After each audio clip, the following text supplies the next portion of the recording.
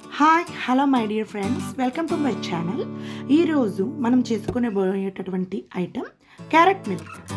దీనికి క్యారెట్లోని ఎన్నో వైటమిన్స్ ఫాస్ఫరస్ కాల్షియం ప్రోటీన్స్ మన స్కిన్ గ్లోయింగ్కి బాడీలోని యాంటీ ఆక్సిడెంట్స్ని క్రియేట్ చేయడానికి మనకి ఉపయోగపడుతుంది.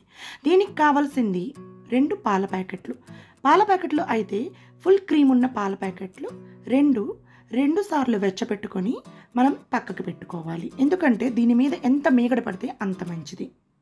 ఇది చాలా చిక్కగా ఉండాలి. నెక్స్ట్ మనకి క్యారెట్ రెండు క్యారెట్స్ పీల్ ఆఫ్ చేసినటువంటివి క్లీన్ చేసి ఉంచుకోవాలి.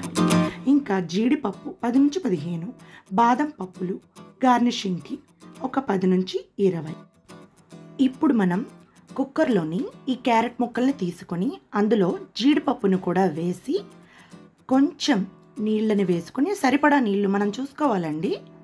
వేసుకొని ఒక రెండు నుంచి మూడు విజిల్స్ ఎన్ని? రెండు నుంచి మూడు విజిల్స్ మనం పెట్టుకోవాలి.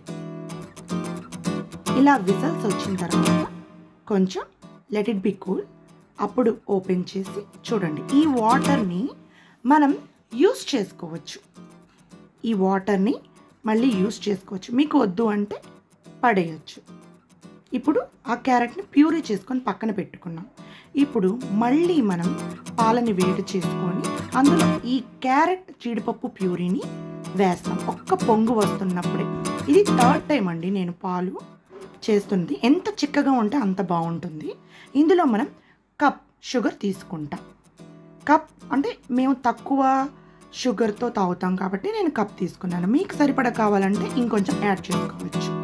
చూడండి ఎంత చిక్కగా ఉందో. ఇడిగా ఉన్న ఈ క్యారెట్ మిల్క్ కూల్గా అయిన తర్వాతే మనం సర్వ్ చేసుకోవాలండి. అంటే మనం రిఫ్రెష్ చేసుకోవాలి.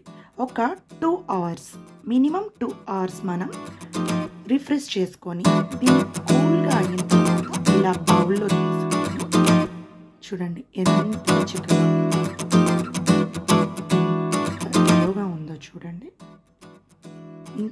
ఇంకా చిక్కగా ఉంటాయి మీరు ఎంత చిక్కగా ఉంటే అంత బాగుంటుంది.